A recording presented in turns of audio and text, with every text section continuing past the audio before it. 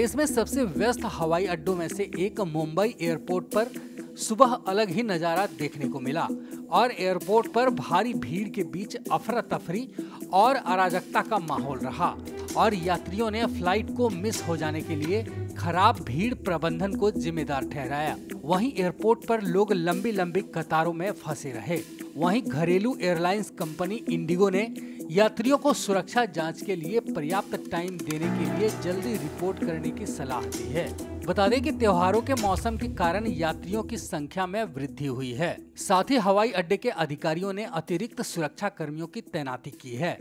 क्योंकि हम अपनी सुरक्षा व्यवस्था में किसी तरह की नरमी नहीं बरत सकते, इसलिए सुरक्षा जाँच के कारण भीड़ भाड़ कम की गई है।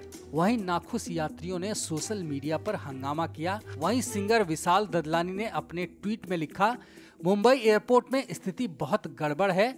सचमुच ऐसा लग रहा है कि हम बीते युग में हैं और लोगों की अंधाधुंध भीड़, काम नहीं कर पा रही मशीनें, हर तरफ़ अव्यवस्था हालाँकि कर्मचारी अपना सर्वश्रेष्ठ कर रहे हैं, लेकिन फिर भी वो भीड़ को काबू नहीं कर पा रहे हैं। और यह व्यवस्था किसकी वजह से फैली है? प्लीज़ उनको टैग करें।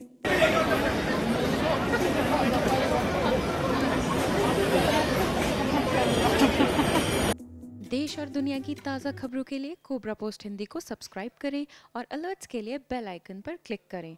और हाँ दोस्तों, साथ ही हमारे वीडियोस को लाइक और शेयर करना ना भूलिए।